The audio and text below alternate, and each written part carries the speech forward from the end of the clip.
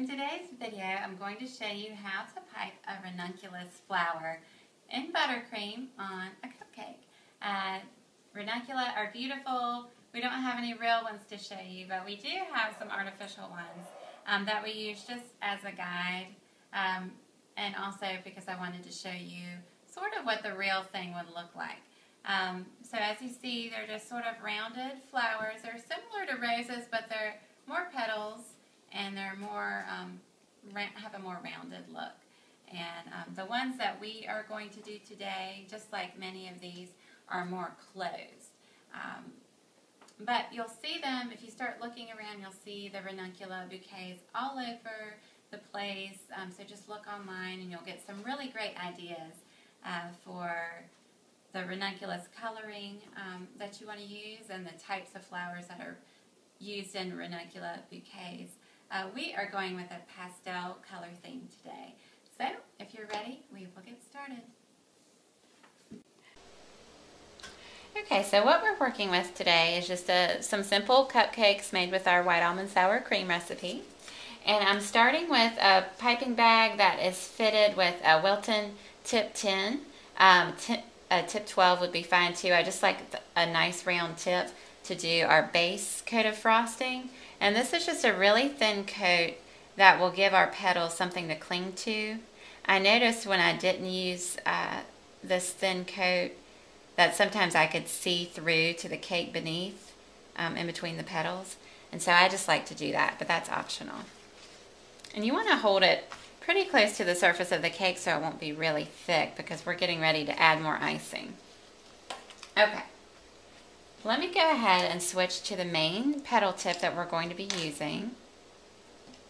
This is a Wilton Tip 61, and I'm going to show you what it looks like. Okay. It looks like that. A lot like the Tip 104, which we use so often, except for it's curved. And that gives us a nice curve to our petals. It makes them look a little bit fuller. Okay. And over here I have my piping bag fitted with uh, Wilton tip 12. Tip 10 is fine too. I use these medium round tips um, interchangeably. And this buttercream is tinted with AmeriColor Electric Green. Uh, the pink that I'm using is AmeriColor Deep Pink. Okay, so this right now, all I'm doing is piping a little ball in the center, like that. And that will give us a little peek at that green color in the center that's common with the ranunculus. Um, it also gives our petals something to cling to. Okay, so it's time to start piping our petals. I'm holding the piping tip so that the thin end is up, like we often do. And I'm holding it so that it's almost parallel to the point where we're, to the um, the ball in the center and it's just directly across from me. Okay, so I'm going to start piping. And there we have a petal. And you see how it curves really nicely.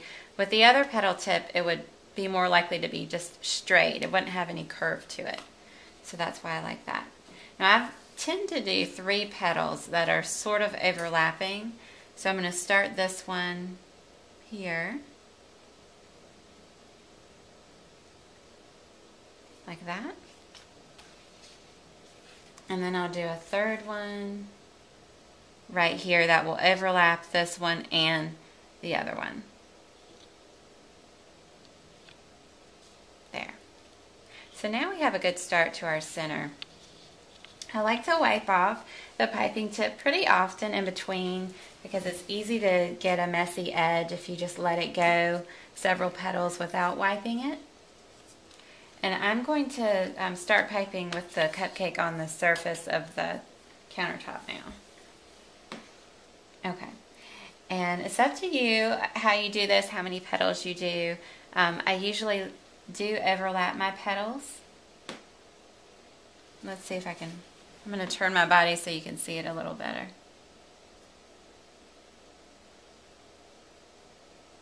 Okay, so there's one. And you see I'm just holding the tip directly across from me. You can slightly turn it towards you and that will affect how um, tightly these petals are closed. There's another one.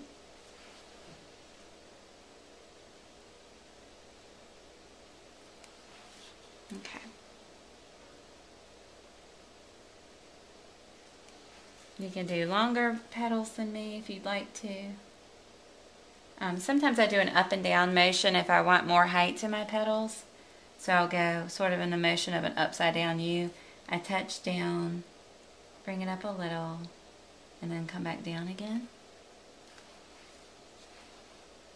And see where these two meet, I'm going to plan my next petal right over top of those.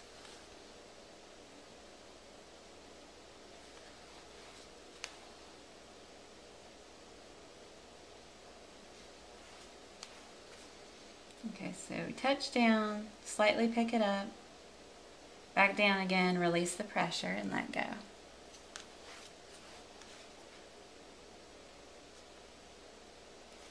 Now if you want to start opening up your petals just a little bit, you can. Just angle the small end of the tip just a little bit more straight, a little bit further away from you than before.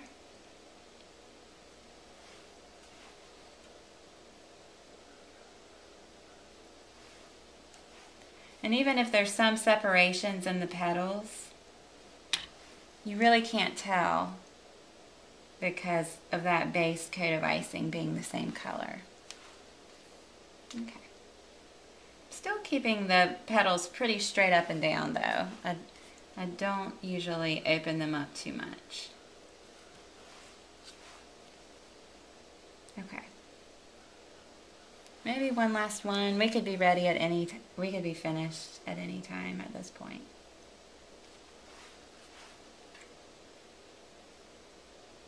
Okay, there we go. Okay, so now I'm going to do another ranunculus, this time with our lemon yellow icing. Again, we're doing our base coat. I'm doing it with a tip 12 this time because that's what I happen to have close by do a little coat of frosting, and then I'm going to change tips back to my 61, and I've rinsed this tip out. Okay. Green in the center.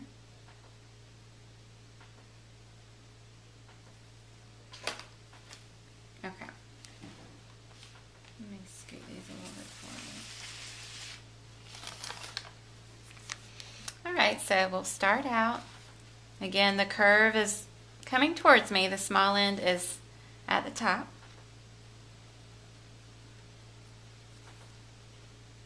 There's one. And this is our fluffy vanilla buttercream, but you could use whatever icing you like that will hold its shape nicely. Um, it's a medium consistency. The thicker that you get, um, the more the petals will be able to open up if that's the look that you're going for.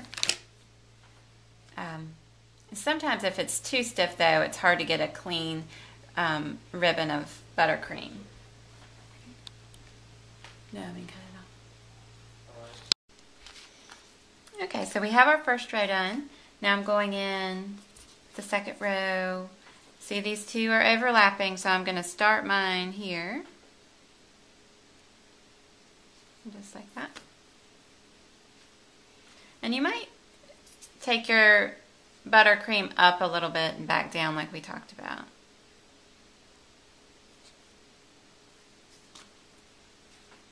Okay.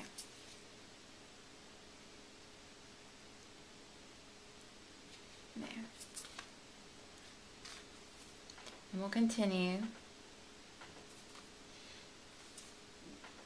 I really like the look of so many petals. Some of mine I have a few more petals than others, but they all are um, piped pretty tightly, especially in the center.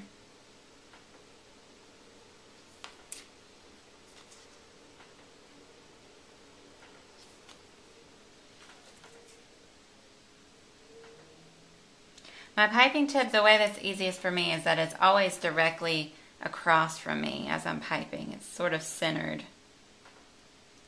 Whereas I tend to hold it to the side when I'm doing other flowers. For me, it's easier to hold it directly across from me for these.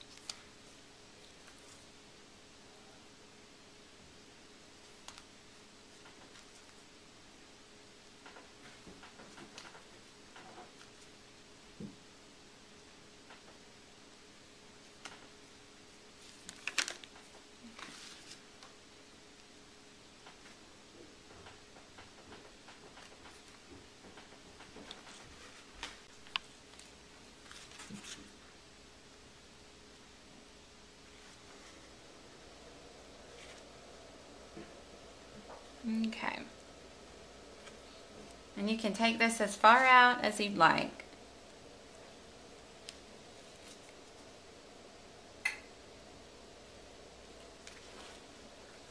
Might do one more. My bag is starting to run a little bit low.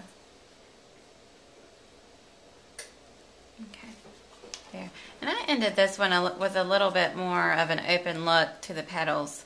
Um, and that's just optional. I'll grab, let me grab another one. This one's a little bit more tightly closed. You can see they're all going to be a little bit different unless you really take the time to count every petal and make them uniform, but I don't think that's necessary. Uh, one thing I wanted to mention, you can see here I textured that little green center um, with the end of my paintbrush once the icing had crusted.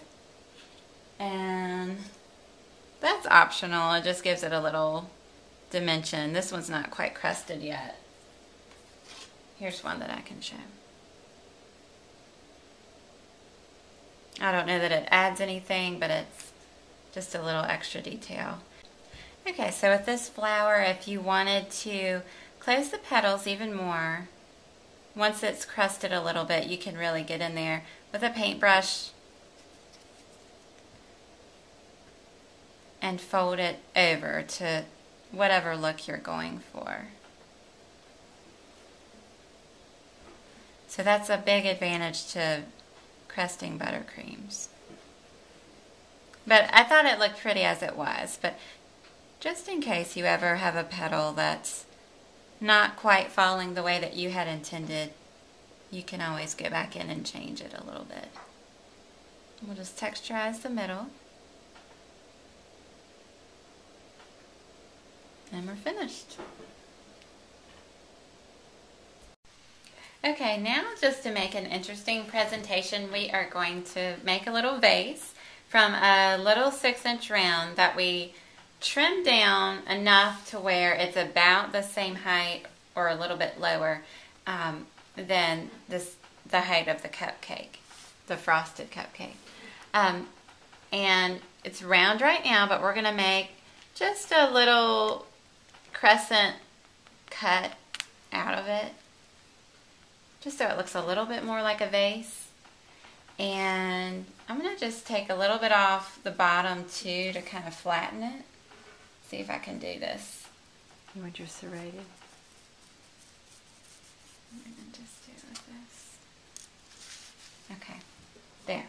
Um, and then we are going to take some buttercream that's tinted turquoise and frost the cake.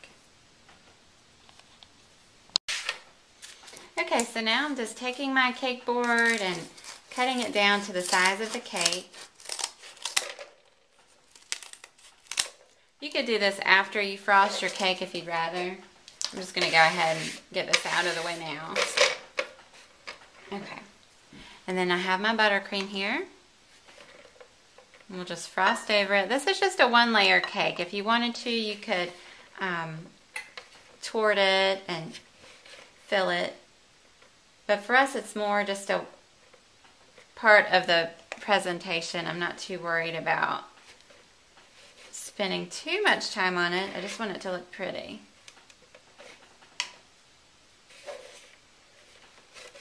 Let's see. Should have put some tape down. Okay, so I'm just going to frost over the cake.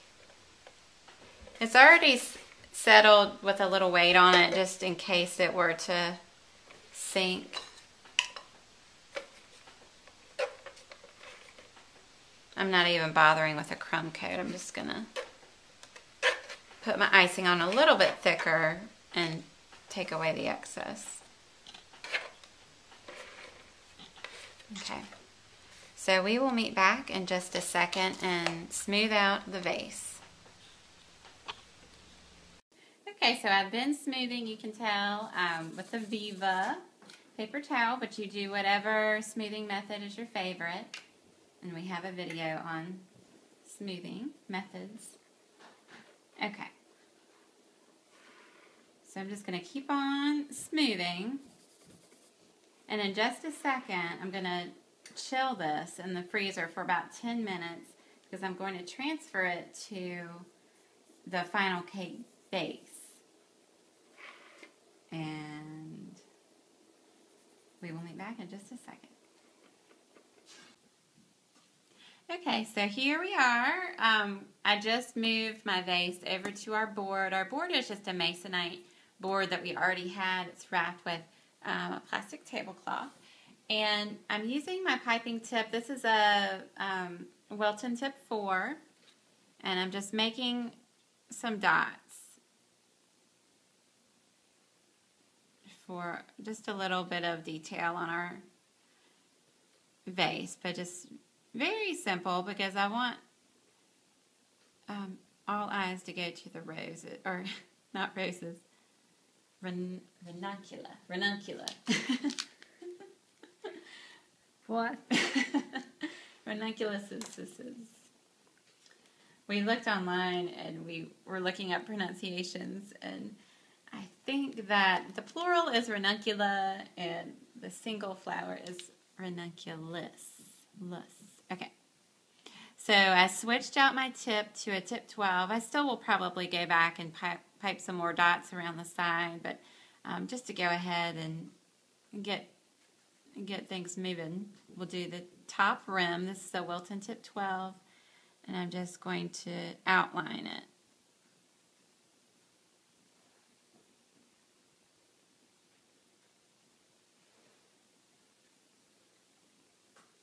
There.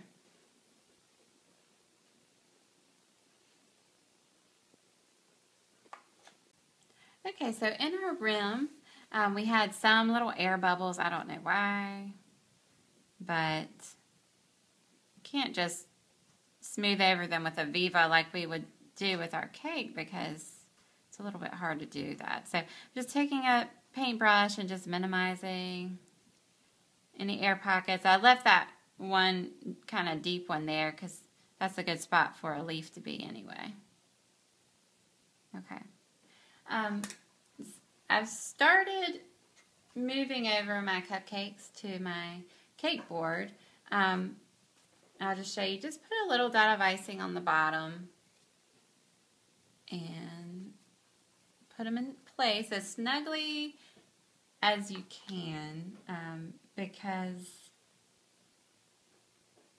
hopefully we'll be able to just pipe little leaves here and there and the, spots that are open in between and um, it'll all come together really nicely. Okay. I have a few different shades of color, or at least two. My pink, um, I have some light, some dark, but they're all the AmeriColor Deep Pink, in case you're wondering.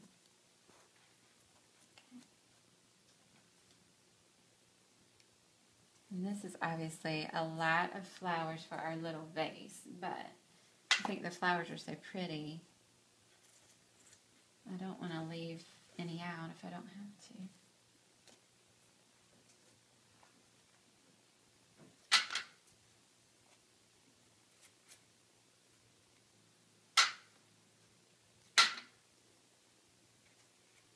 Okay, so I'm going to continue just kind of playing around with the arrangement and um, we'll meet back and pipe some leaves in just a second. Okay, so now we are just filling in with our leaves. We still might play around with the arrangement. It's funny how um, you can get sucked into spending a lot of time just with the placement of your cupcakes.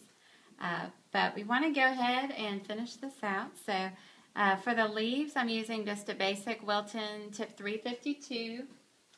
Just got a little snip out of the center. Um, Ranuncula have leaves, at least according to these fake ones that we have, that look like this. And since I don't have a piping tip, it's going to look like that. And I don't really want to add fondant. I'm just piping sort of three tips together, one long one and then a couple of short ones. So, for instance, right, where would be good spot? That giant one we'll conquer in a second. That's our big space. Okay, right here, for instance, we'll cover up this air bubble. So I'll do sort of a long one.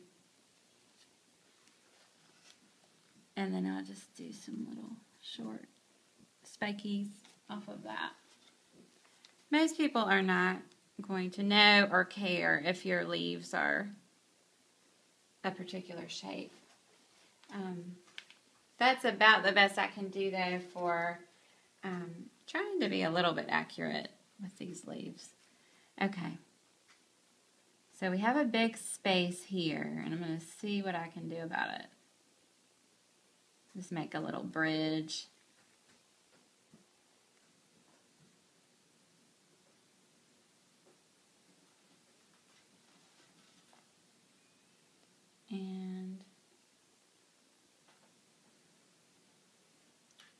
Some places we might just see just a little a little bit of the leaf. And adding the leaves is optional because it is, you know, more icing and it's um, may fall down a little bit when you go to separate your cupcakes. But I think it does add something um, to the look. You can even add them just picking off of your flowers here and there. Okay, I'm just continuing to fill in. I took a break and stiffened my icing just a little bit more. Um, for this one, once it crusted, I just wanted to show you, you can always use a toothpick and um, add some little veins if you wanted to, um, or reshape whatever you want to do. Um, over here on the board, I added a few leaves. That's just optional. Just kind of filled a space here and there. Um, for instance, right here, we could do some little leaves. But at this point, the cake could be finished. I mean, I'm just adding little leaves here and there, but it already looks really pretty, I think.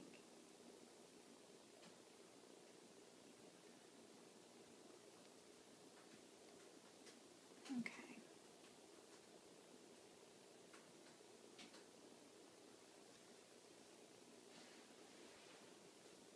All right. Okay, so here we are. We are finished, and I think that it turned out really, really pretty. Um, even if you don't go with a vase presentation like we did, I think just a platter of these would be so pretty at a shower or um, birthday or pretty much any event that calls for something elegant like this. Um, these ranuncula are not difficult to do. Uh, you just got to get used to piping with a petal tip. And I love the petal tip that we used today, and I think that you'll really like it too. Um, they really don't take that long to make uh, once you get into the swing of things. So I hope you'll give this flower a try. I think it's really impressive looking, and we will see you